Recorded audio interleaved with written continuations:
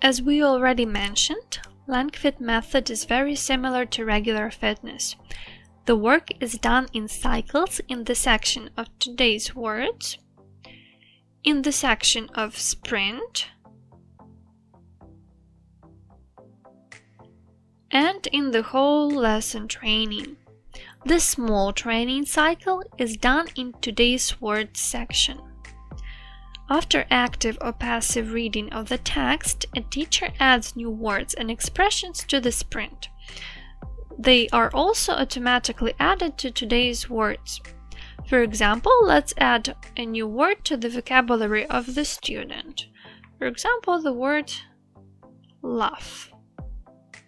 Add to table. So it appears right here in the sprint and it also appears in today's words section. Also, it is worth mentioning that changing already existing words leads to adding these words to the above mentioned section.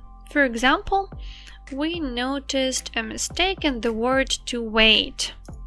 We change this word and it also appears in this section.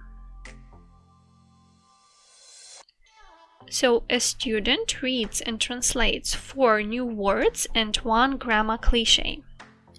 After that, a teacher makes grammar puzzles with new words and sprints grammar patterns in the, in the student's native language.